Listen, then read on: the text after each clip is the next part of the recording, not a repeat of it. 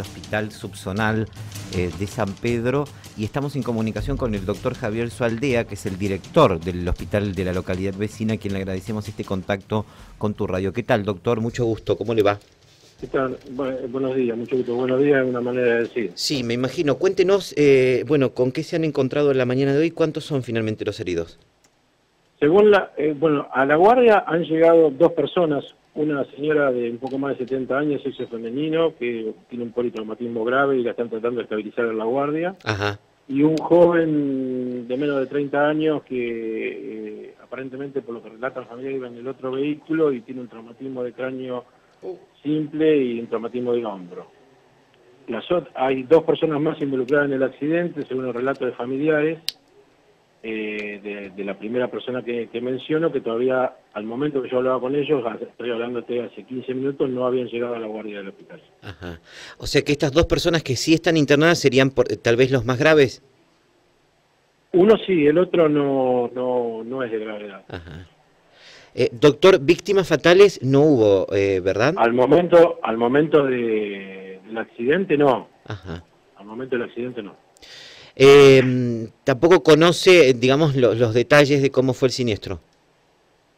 No, según el relato de familiares de la señora que está más grave, ellos se dirigían a, Buenos Aires, desde, la calle de San Pedro, y eh, desde el carril Buenos Aires-Rosario, aparentemente la otra persona, que es el otro joven, sí.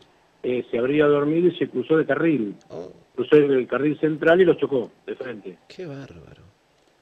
Ese es el relato que tenemos. O sea que, que dicen que vieron el accidente dicen lo mismo. Eh, eh, entre las personas entonces habría personas eh, de la son de la localidad o estaban en San Pedro. No, no, son de San Pedro, incluso es la mamá de dos compañeros nuestros principales. Mm, qué bárbaro.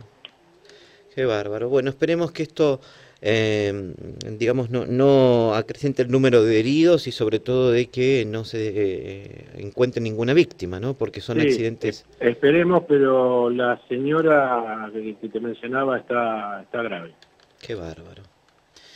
Eh, doctor, le agradezco mucho por la gentileza que tuvo de atendernos. Sabemos que están eh, con mucho trabajo ahí en esta mañana. Sí, sí, la verdad que sí. Hoy, hoy es un día bastante complicado, más de lo habitual.